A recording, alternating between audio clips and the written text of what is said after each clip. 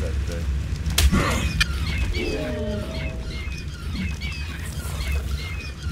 Oh, it's taking mad damage now. Really?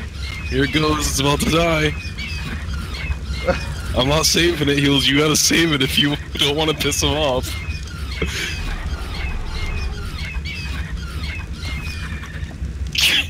I thought you were gonna let it die. Let me see his health.